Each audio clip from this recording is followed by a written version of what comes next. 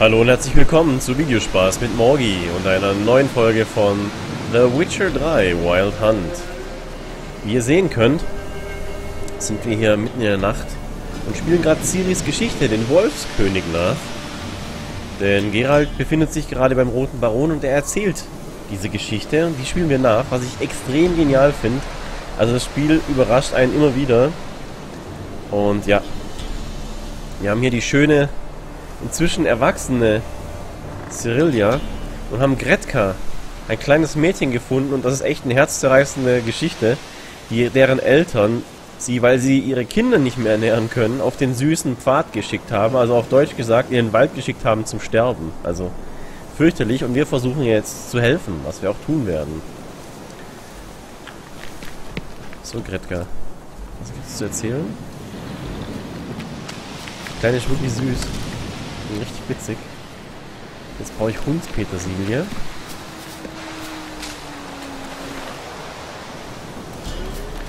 hier überall. Dass man die Wölfe heulen. Hörst du? Wölfe! Versteck dich, rasch! So, jetzt gehen wir an den ganz schnell ran.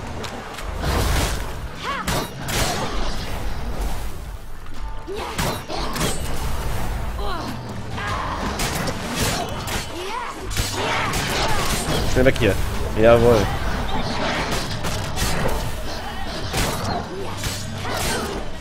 Sehr schön. Also dieses, diese schnelle Bewegung, das ist der absolute Wahnsinn bei der. Ach, war nicht gut. Jetzt einen schweren Schlag kommt.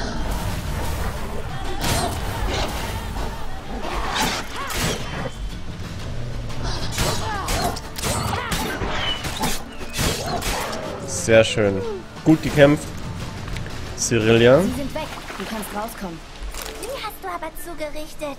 Da wird der Wolfskönig wütend sein. Die ist echt brutal schlau, die, äh, die, die kleine Gretka. Die ist sehr... Schicken Eltern ihre Kinder oft den Süßigkeiten hinterher? Manchmal die Kinder, manchmal gehen sie auch selbst. Und kehren sie zurück? Nein, warum auch? Am Ende des Wegs gibt es genug zu essen. Alter Schwede. Da fällt einem nichts mehr dazu ein, oder? Das muss so... Das Land ist so zerstört vom Krieg, dass die zu sterben gehen. So, jetzt hab ich alles. Fehlt nur noch ein Feuerplätzchen, wo ich das Öl in Ruhe herstellen kann.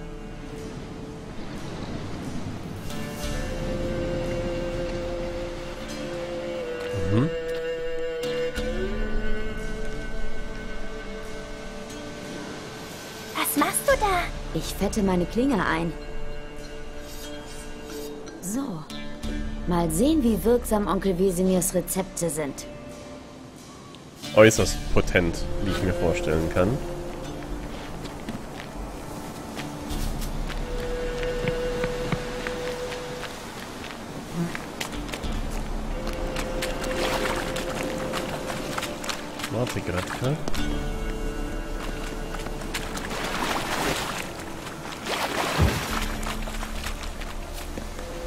Glaube, wir nehmen am besten noch so ein paar... Ich muss aufpassen, dass uns der Wolfskönig nicht auflauert. Wir nehmen aber trotzdem noch so ein paar von den Kräutern mit, dass wir vielleicht noch, ein, noch mal eins machen können. Eins dieser Öle.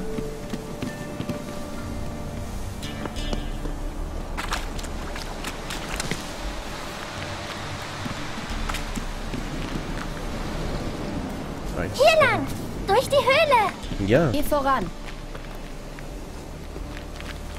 was ist da? Ich will aber da schauen. Das ist bestimmt ein Haufen Zeug. Jawohl. Ja, also das ist gerade echt, also ich weiß gar nicht, was ich dazu sagen soll. Klar, die ganzen Leute, die in den Wald geschickte Süßigkeiten hinterhergeschickt werden, die kommen alle nicht mehr zurück, sagt die Gretka, ne? Weil es gibt ja genügend Süßigkeiten am Ende. Brutal. Und ich kann mir vorstellen, dass früher im Mittelalter oder sogar in, vor, einem Jahr, vor 100 Jahren oder so sowas teilweise noch passiert ist.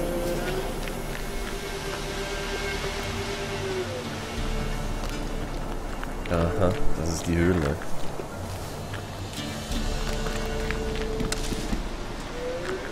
Ketka geht da nicht allein rein.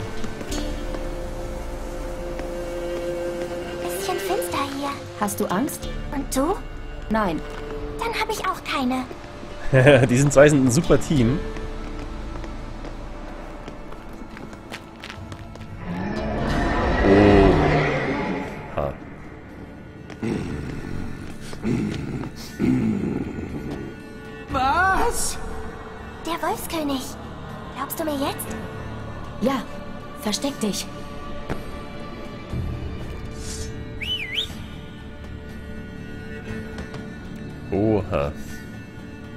Wie sie da oben Grimassen macht.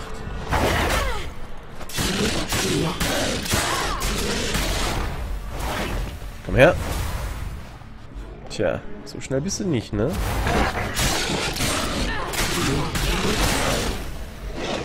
Ah. Und da haben wir ihn schon. Das Öl scheint wirklich sehr potent zu sein. Dem hast du's aber gegeben? Sowas habe ich noch nie gesehen. Gretka, du kannst rauskommen. Na komm.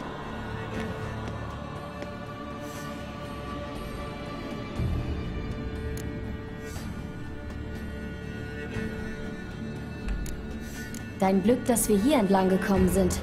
Im Wald hatte jemand weniger Glück. Das muss Jahren sein.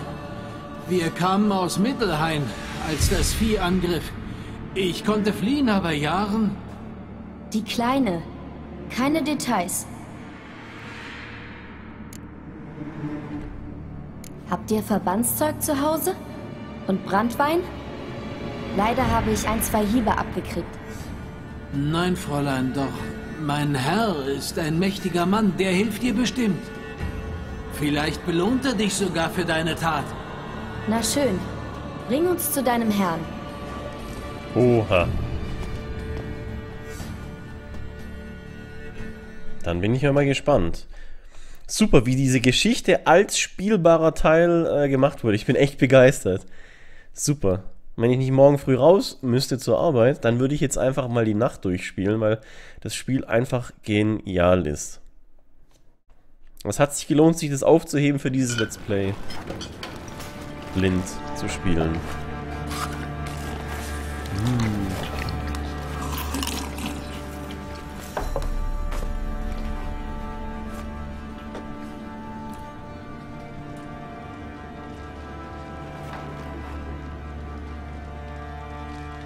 Wen hast du denn da angeschleppt, Mann? Das ist nicht meine Tochter.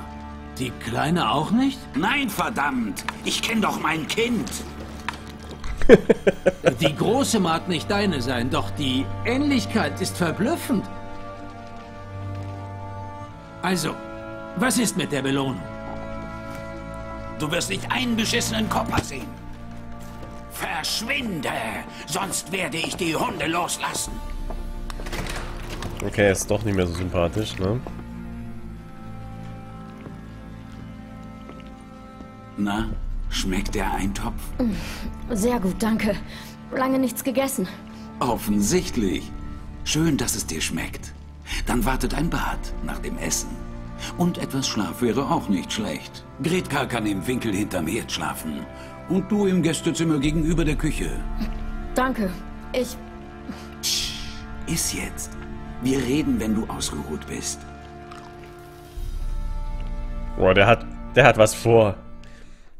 Die Siri ist nämlich sehr attraktiv. Das kann doch nur eins Ich bedeuten. befahl den Männern, sie zu bewachen und ließ sie schlafen. Und? Das erzähle ich dir ein andermal.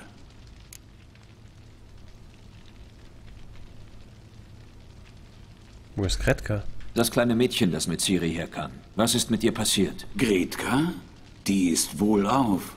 Sie hilft in der Küche. Ah, wunderbar. Siri hat mir von den Eltern und ihrer Entscheidung erzählt. Ich werde die Kleine nicht nach Hause schicken. Hier hat sie was zu essen und eine eigene warme Ecke. Es fehlt dir an nichts. Und was ist mit Ciri? Hab ich dir schon gesagt. Darüber reden wir ein andermal. Ja, er will jetzt garantiert, dass wir seine Tochter finden zum, zum Austausch. Diese Information kriege ich wohl nicht umsonst. Kluger Kopf. Ich bedauere deinen Verlust.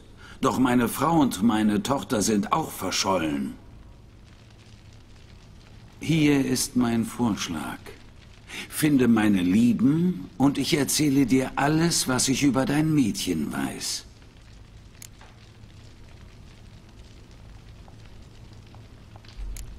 Kann ich dir denn trauen? Welche Sicherheiten habe ich? Gar keine. Nur mein Wort. Und wenn ich ablehne, weil ich einfach nicht will?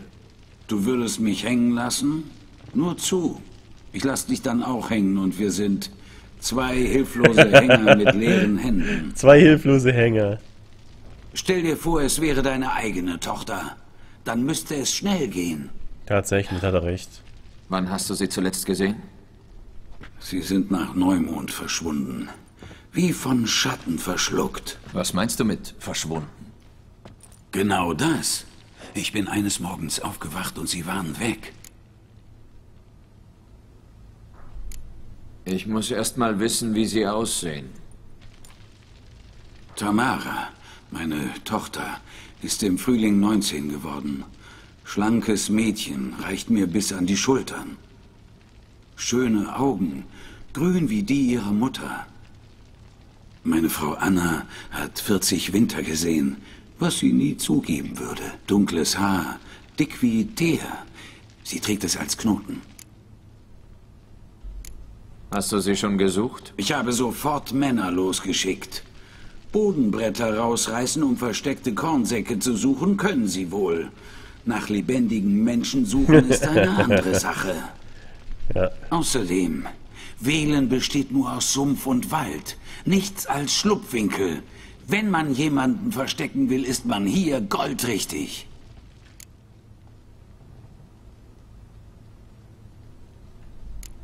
Dieser Ort muss schwierig sein, wenn es sonst keine Frauen gibt. Dieser Ort? Was soll das heißen? Es hat ihnen an nichts gefehlt. Fasan zum Abendessen, blaue Schleifen aus Toussaint, alles, was sie wollten. Ich dachte an deine Männer. Die haben deinen Frauen auch wirklich nicht zugesetzt? Sie sind allesamt Hurensöhne, aber sie wissen, was sich gehört.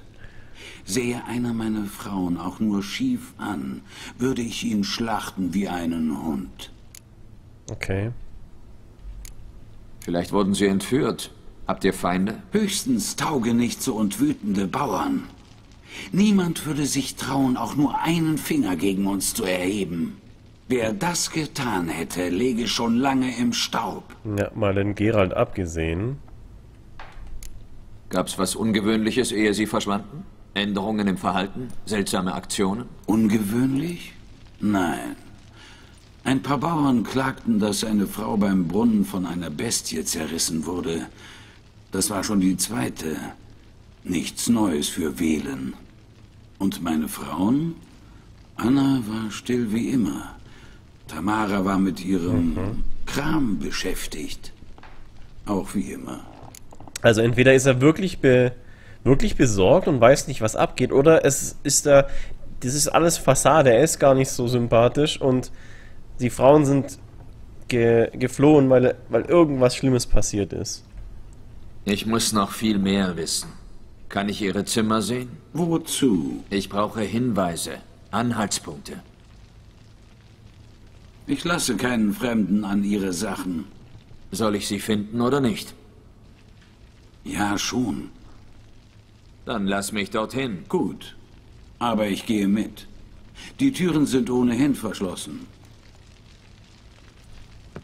Ein krasses Jagdmesser. Wenn du Öle auf dein Schwert aufträgst, wird dadurch der bei einem bestimmten Gegnertyp verursachte Schaden erhöht. Okay. Der geht jetzt da raus. Und hier was absahen?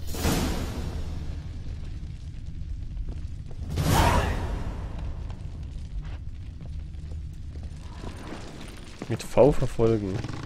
Machen wir. Okay, hier kann man tatsächlich nichts mitnehmen. Schade, ich wollte mich eigentlich nochmal umschauen, weil der hat hier tolle Bilder. Das ist echt krass gemacht, das Spiel. Unglaublich. Was wir da hinten? Eine Hafenstadt. Nilfgaardsche Forderungen.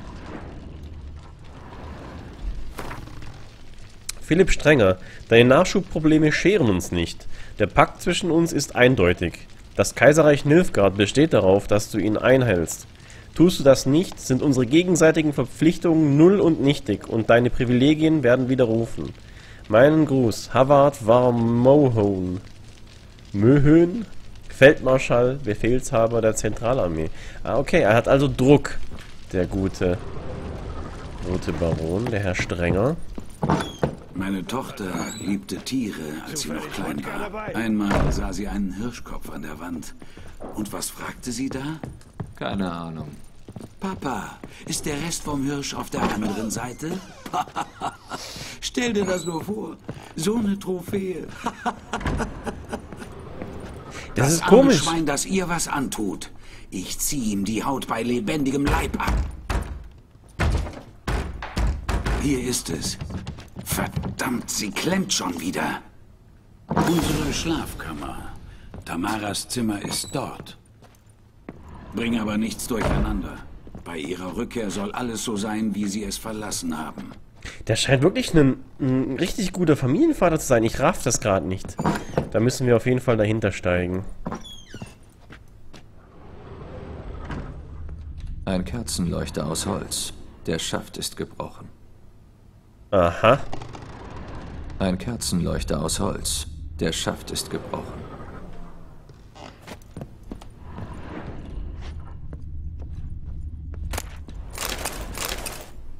Pferdehaut hat die in ihrem... Die haben eine ganz schön große Kammer hier.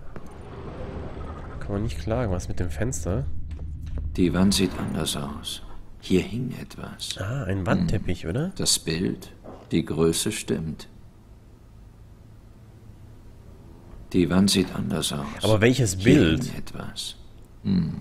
Das Bild, die Größe stimmt.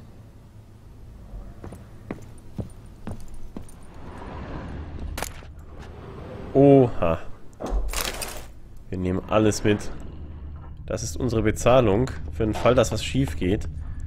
Wir haben nämlich gelernt, dass wir überleben müssen. Das ist es nicht die feine englische Art, aber die können es verkraften. Die Bauern, denen geht's richtig schlecht. Schnittblumen. Er erwartet sie jederzeit zurück. Oder hofft es. Ja, der scheint sie wirklich zu lieben. Also das ist ganz, ganz seltsam. Was ist denn das für ein Bild? Ach, das ist die Frau. Der Baron und seine Frau. Hm. Sie sehen glücklich aus.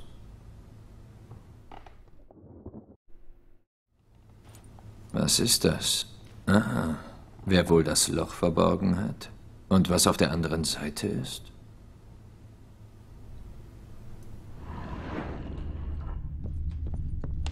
Komme ich da jetzt hin?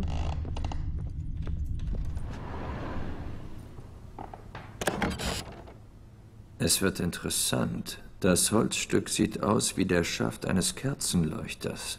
Das ist kein Zufall. Hm, hier könnte der Kampf stattgefunden haben. Ich muss nach Hinweisen suchen. Das ist krass. Da wird was vertuscht. Aber von wem?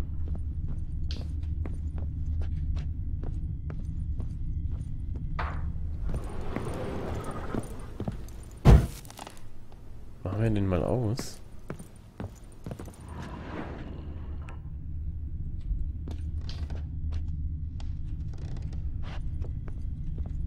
Was haben wir denn? Ach, da hinten ist noch was. Also ich hätte im echten Leben auch gern so Hexersinne, wenn ich meinen Schlüssel suche zum Beispiel. Da war doch jetzt gerade was. Hier. Tiefe Kerben, geschlagen mit einem schweren Gegenstand. Ja, da gab es wirklich einen Kampf. Und der Kronleuchter wurde zur Verteidigung gebraucht. Hm, der Rest des Leuchters. Und Weinflecken. Jemand hat eine Flasche zerschlagen. Aus Toussaint, Ja, Hervelus. Der Geruch ist noch da. Bin gespannt, wo er mich hinführt. Krass. Er ist ein Weinkenner auch noch. Oh, ist das gut gemacht.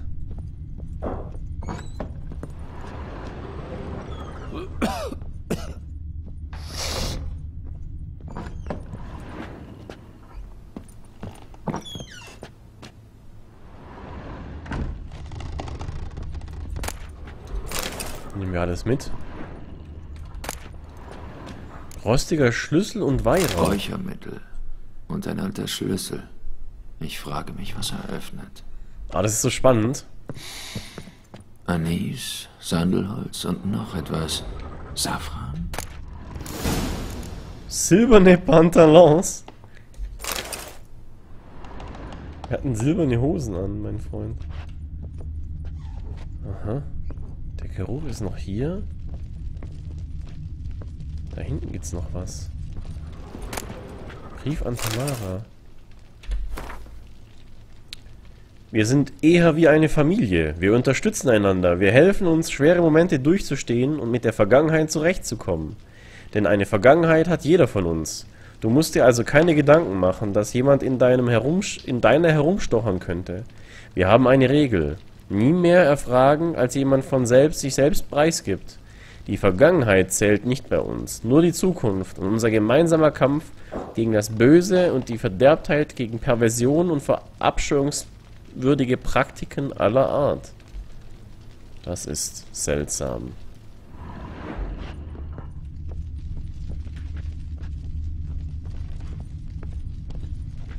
Was ist denn hier?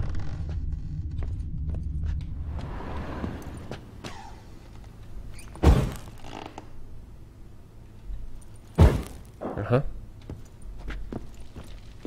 Gibt's hier was unter dem Tisch? Hier endet doch die Spur.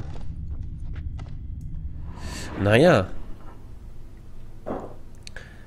Wo die äh, Spur hinführt und was es mit dem Weihrauch hinter, äh, auf sich hat und was für ein Rätsel diese Familie, äh, was, also ich, ich, ich bin mir nicht sicher, äh, was hier ab, abgelaufen ist bis jetzt. Aha. Puppe und Naschwerk.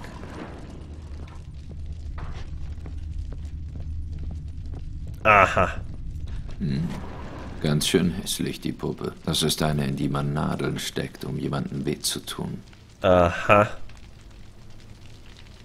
Hm.